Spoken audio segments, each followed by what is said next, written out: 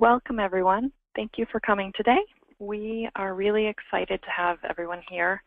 Um, this is going to be a, a webinar about uh, as an introduction to PastPerfect Online, which we also refer to as PPO for short. My name is Jessica, and I'm one of the PastPerfect Online specialists here. I also have with me uh, Melissa and Allison, and together the three of us make up the PastPerfect Online support team.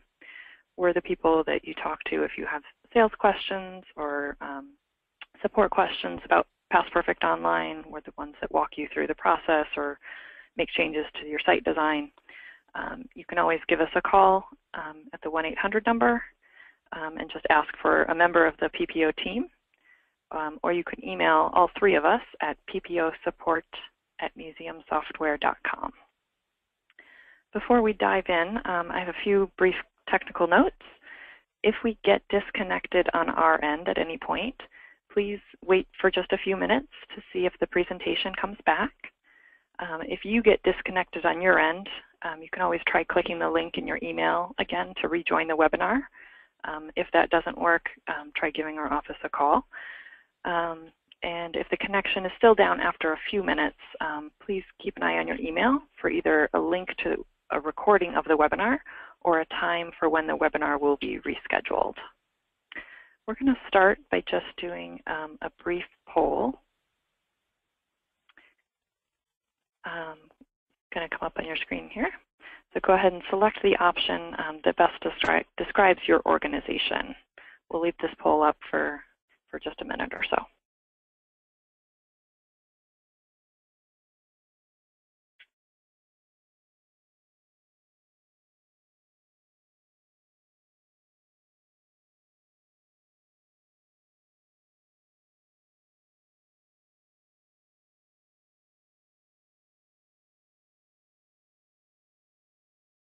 All right, we'll, we'll leave it up for another 10 seconds. So if you haven't answered, go ahead and make your selection.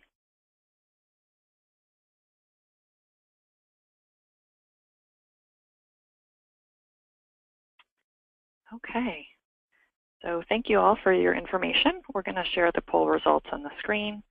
Um, and it's great, sure to, great to see such a range of participants here. Um, we think you'll all get some great information um, from this webinar. Um, to give you a, a, an overview about what's going to happen, um, the presentation will last um, about 30 minutes, um, and there will be time at the end for questions. Um, as we go, feel, please feel free to type in your questions into the GoToWebinar chat window that's on the side of your screen. We will answer them at the end. we're going to start off with a brief history of PastPerfect Online, and then we'll review what PastPerfect Online is and take a look at an example site to see what your visitors will experience. Um, and then we'll discuss how it works from your end in PastPerfect for selecting the records and building your site. Once we've covered those main topics, we'll discuss the product pricing, and finally, we will go over any questions that you guys have. Um, please note that this webinar is designed to focus on the highlights of the process. It's not meant to be a step-by-step -step tutorial video. Um, the steps can be more in depth than what we'll go into today um, to have further customizations to your site, um, but those steps take more time than we have. Um, so the PastPerfect Online product actually started in 2005 as a response to um, a few clients who attempted to share their PastPerfect data online using a third-party solution. The expense to these organizations was tremendous, both financially and time-wise. Um, so we then created PastPerfect Online, a standardized product which helps, uh, which allows PastPerfect clients to easily share their data and images online for minimal cost. Um, and in 2015, uh, PastPerfect Online was completely revamped for version 5 clients. Um, the new version has a more modern look, new search capabilities, simpler ways to customize the site, and quicker upload times. Uh, in this webinar, we'll show you how this revamped version of Past Perfect Online is the easiest and most cost-effective solution available for sharing your collections online. So now I'm going to pass the mic to Melissa, um, and she's going to start with a quick review of what Past Perfect Online is. Okay, So what is Past Perfect Online? Well, PastPerfect Online is an optional upgrade to your PastPerfect program that creates an online search tool where you can share your PastPerfect records. In addition to sharing your featured collections, PastPerfect Online is a great way to gain exposure for items in your collection that might not be readily available at the museum, and a way to allow access to items that are fragile or in need of special environmental conditions. Each site is customized to complement your existing website. When we design the past perfect online site for you, we'll take a look at the colors and logos on your main site and to incorporate them into your past perfect online site. Let's take a look at a sample site now. The page we're looking at is the site's landing page. The text on this page is fully customizable and is a great place for sharing things like search tips, quick links to featured items, donor acknowledgments, and information about your organization and collection. Visitors can view your site from any device. Currently, we're viewing the page on a full-size computer screen, but let's look to see how the page would display on a smaller screen, such as a tablet or a smartphone. Because the site has a built-in responsive design, the page layout will change based on the width of your screen, making it mobile friendly. Let's head back to the full screen view.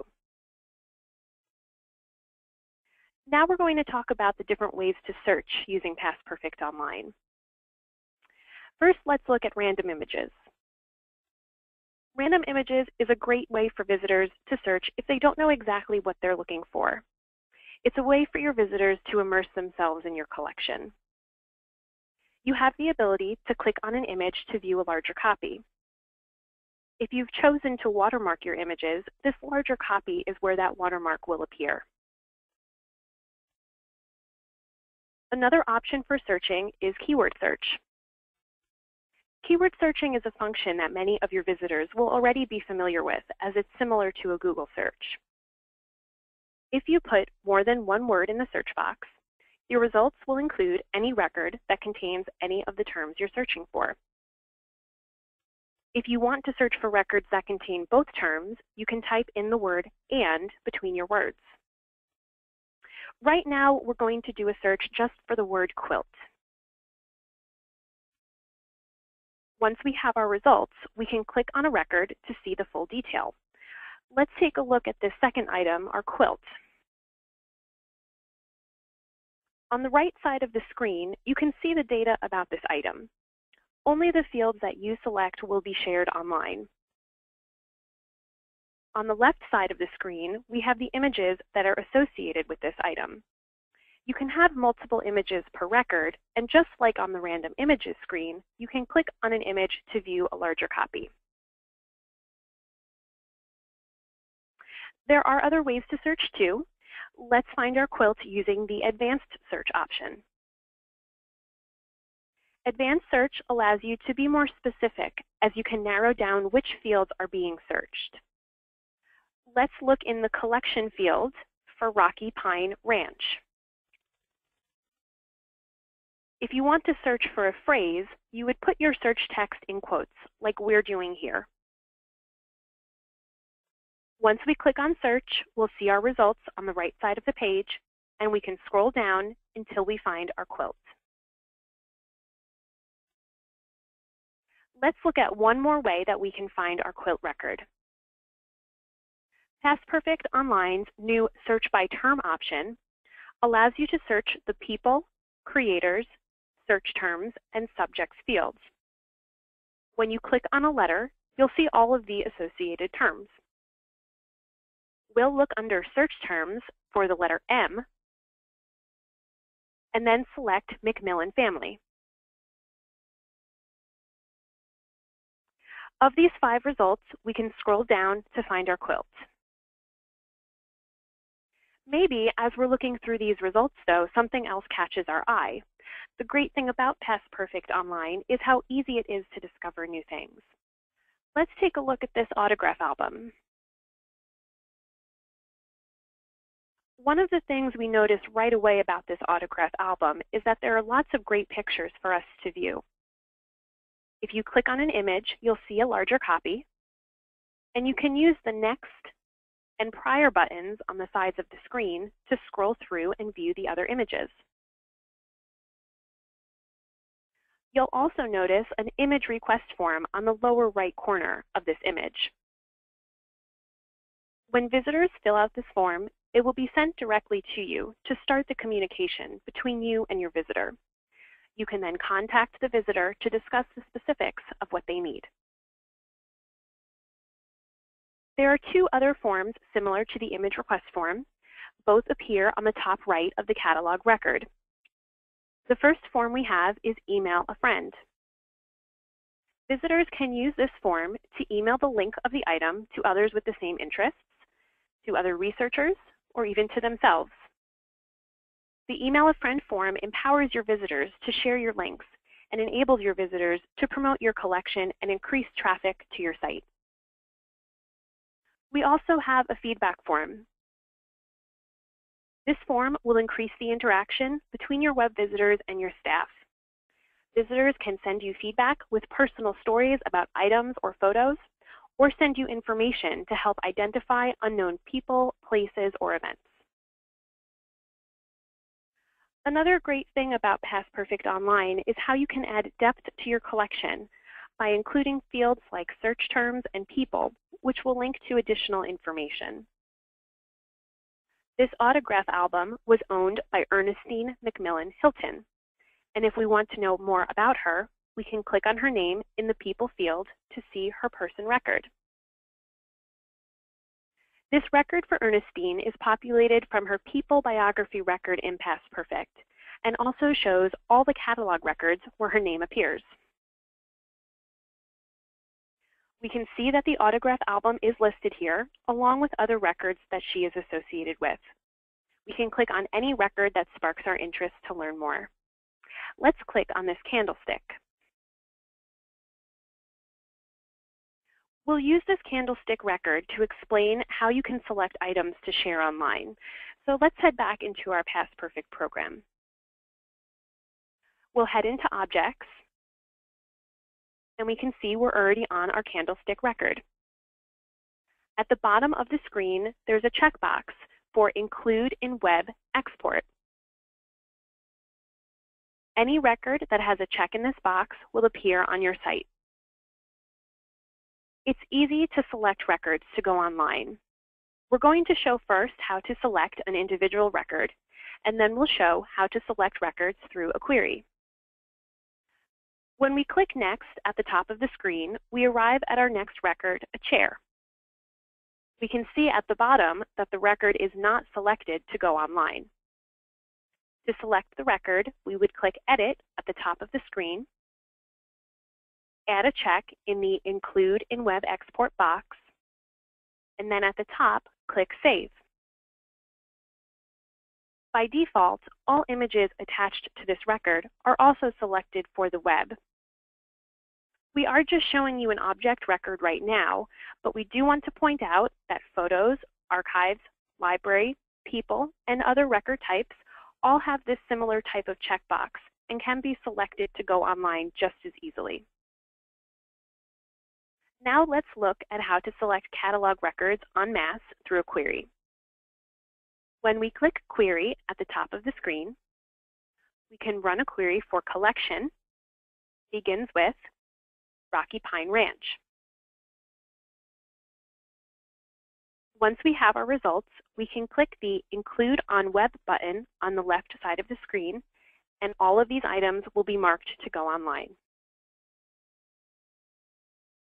Please note that selecting a record or records to go online will not immediately display them on your site.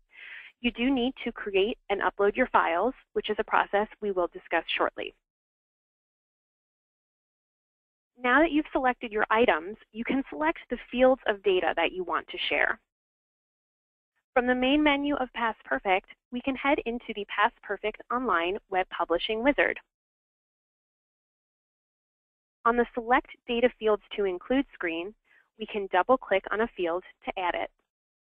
Let's find the date field and add it to our site. After the date field is selected, all object records with the date field populated will show that date online.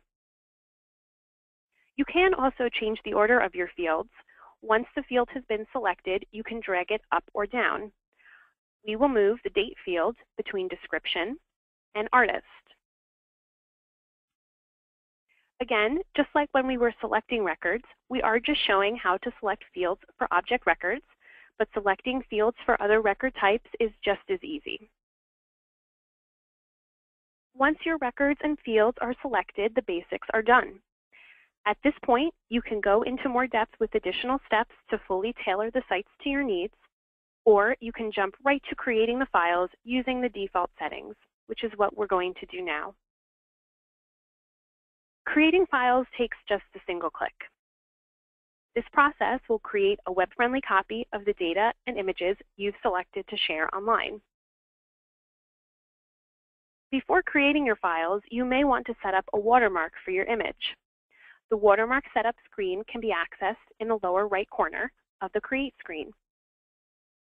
From here, you can change the text, color, and position of your watermark. Once you've made your selections, you can apply a test watermark to see how it will display on your site. Now that we've made our choices, let's start cre creating our files. Anytime you make a change in PastPerfect that you want to appear on your site, you will need to go through this process of creating files. Most organizations get into the habit of updating their site about one time per month. While these files are being created, let's talk about keeping your data and images secure. You are in control over which records, data fields, and images are shared. The create process only looks for records where the include in web export checkbox is checked. And this process will only grab the fields that you have selected in the previous step. Certain fields can't even be selected by mistake. Location and value fields are impossible to include.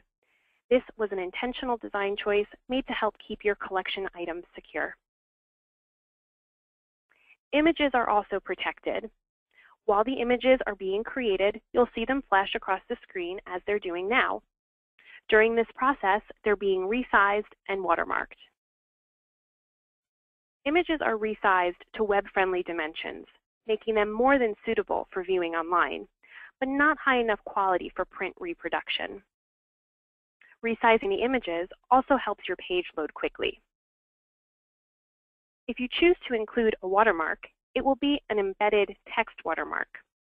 Since the watermark is embedded in the image and not just overlaid on top of the image, it would be extremely difficult to remove the watermark and have an even marginally decent image left at the end. We should also point out that the watermark you apply is only applied to the images that are shared online and will not have any impact on your images in PastPerfect. We should also note that you have the ability to deselect specific images for catalog records, so only the images you want to share will go online. Once the files are done being created, we would go to the next step to upload them. We aren't actually going to do this step right now since it will take a bit more time than we have. The average time to upload your files is about 20 to 30 minutes, However, this does depend on factors like your internet connection and the number of records and images you're sharing. We've prepared our site ahead of time, so let's head back and do a keyword search for our chair.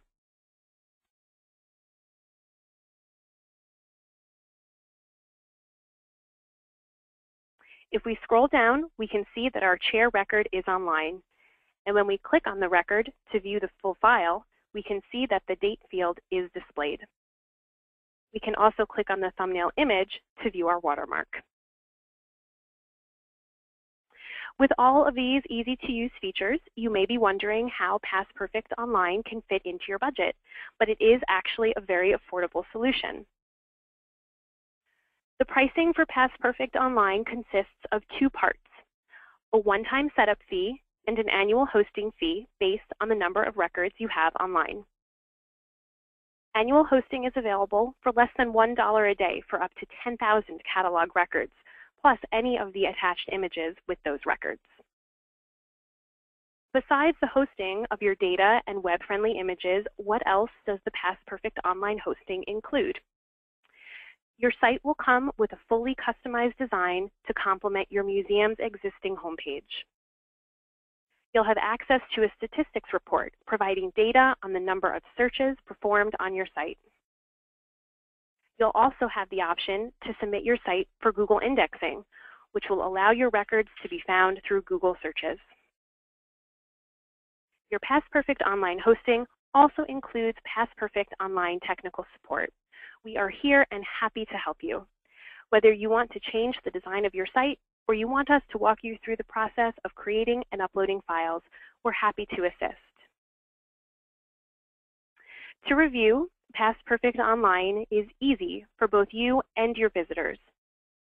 Visitors can use different search options to find things that match their interests. Your site will include email forms for visitors to contact you or share the site with others. The custom site design and mobile-friendly design make the site easy to view on any device. And selecting records is simple. Once your records are selected, the step-by-step -step wizard will guide you through the rest. PastPerfect Online is secure. You control which records and fields go online, and some fields are automatically excluded for extra security. Your web images will be resized and can be watermarked. PastPerfect Online is affordable. There's a one-time setup fee, and then for less than $1 a day, you can host your data and web-friendly images.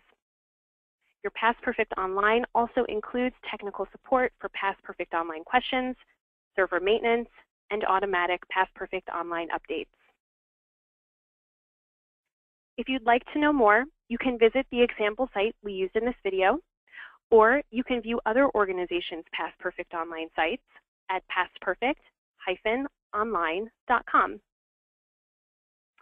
Thank you all for coming. We will be sending a follow-up email tomorrow morning with some helpful links, including a link to the recording of this webinar.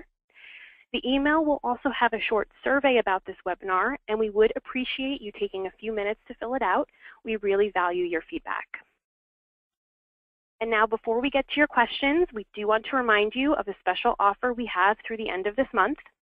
If you order PastPerfect Online setup and hosting before September 30th, 2016, we'll waive the setup fee, which is a savings of $285. Now I'm going to turn this over to Allison, who will answer your questions. Thank you, Melissa, and hi, everyone. We are going to take some time right now to answer some of the questions we've received throughout the webinar. As we mentioned before, if we don't get to your question right now, you can expect a call or email from one of us within the next day. The first question that we had come in here was asking about the site design and if you have the ability to make any additional changes. Although the site does come pre-designed for you, uh, that's something we do as part of that setup, it can be changed at any time. We're happy to help you with this, but it is something that if you're comfortable doing on your own, you can also make those changes directly. A few people also asked, uh, can I update a record that is already online? And that's a very straightforward process that we sort of already showed throughout the webinar here, um, where you'll just need to go into Past Perfect, make the changes to the record itself, and then create an upload through that web publishing wizard. It's a very similar process if you'd like to remove a record from your site where in Past Perfect, you'll uncheck the Include in Web Export box, and then create and upload your files. Another question I see here is um, about those feedback forms and the image request. Um, can they be removed? The image request, email a friend, and feedback form can all be disabled. Um, you could have none of them, all three of them, or some combination. Another common question that we received here was asking about that Google indexing and whether or not your site will be automatically indexed. That's something that we don't do until you request it. We do want to make sure that you're happy with your site, that it meets your professional standards. Um, it is something that we will do for free uh, whenever you're ready to make that site more publicly accessible. The next question that I see here um, is can we change how the search results appear? And just for people who might not be sure what that question is asking, I'm going to bring up our site again and do a keyword search for Hilton. And you can see that these first three, res three results have the object ID and the object name as the link to view the full record. If we go to one of these records, we'll see that the catalog number, the object ID, and the object name are the first two fields that we've selected to go online in the web publishing wizard. So that's what's going to be used as that search result link. If you'd like to use something different, like title or collection as part of that link, you would just need to reorder the fields in the web publishing wizard, create and then upload your files. Um, another question that I've got in here about the site itself is talking about these buttons on the left-hand side, archives, photos, libraries, and objects, and what they are. This is something that we've added as part of the revamped Past Perfect Online, and they're catalog-specific buttons. So if your web visitors wanted to just scroll through and browse your objects, or search only one catalog, they can do so without needing to look through your entire collection. Uh, another question that I see here is asking um, about the search terms and whether they're the same ones that are in your database. Um, so that is the search by term here. So for the people, creators, search terms, and subjects, um, that is something where it takes the data that is actually being exported to the online site so you won't have to worry about someone clicking on here and not getting any results because it is everything that you are sharing. Um, on a similar note to the feedback forms, um, you can actually choose not to share one or all of these. This search by term is something that is optional.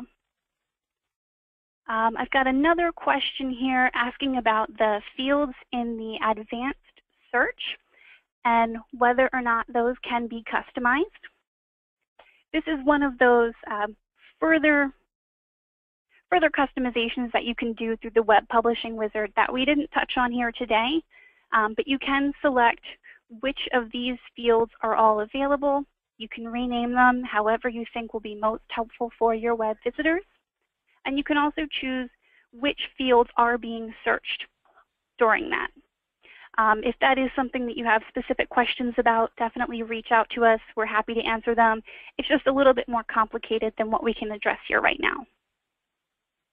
Um, and then the last question that I have for you right now is um, when I select fields to uh, share online, do I choose the same fields for all four catalogs or can they be different? And that is something that you can set them up individually by catalog. Um, I'm actually going to head back into Past Perfect here. And if we go back to the data fields to include, where we chose our date field, you'll see we've got different tabs up here for the various record types. So if we wanted to choose something different for photos, we can select it by each catalog. Um, I'm going to look for the next question that we've got here. Um, let's see. Um, so if you um, are trying to select which which, which images to view online, how do you do so? As Melissa already mentioned when we were selecting files, that that is done automatically. When you select a record, all of the attached images are, um, are automatically included but you can always go into the image management, uh, view the image metadata, and remove individual images uh, from on from that are available online. And the next question I've got here um, is asking about integrating Past Perfect Online into your existing website. Um, that is something that is actually pretty easy to do, but we unfortunately can't help you with it um, you would just need to add a link or a button on your page that would take your visitors over to your Past Perfect online site. Uh, because we do host the site, uh, that's mentioned in the annual hosting cost, it isn't something that would be built into your main website. Um, it is going to be separate, but you can very easily add a link. Um, and then the next question that I have here is asking about um, just adding a few images at a time, or if you could just add a few records, or if you, you have to have everything set up and ready to go. Um, so that is something that you can do in stages. You don't need to put everything up right away. Um, once you do have everything online, most organizations will go through and only update their site periodically, maybe every few months. Um, but as you're getting started, a lot of places will just upload kind of a, a sample um, where you are only doing uh, maybe 100 or, or a small selection of records to make sure that the fields you've included, uh, the search mapping, everything is good, um, and then just continually adding on from there. So um, I'm actually going to pass it over to Melissa. Um, so hold on for just a second. Okay, you guys are putting some really great questions in here. Um, one that we had was actually just about the sale we have through the end of the month. We do just want to be clear that all you have to do before September 30th is place the order for the setup and the hosting. After that, if you need to take some time to select your records, go through things to make sure they meet your professional standards, that's fine. You don't have to also upload to the site before the end of the month. Um, it's just that the order needs to be placed by that time to take advantage of waiving that setup fee.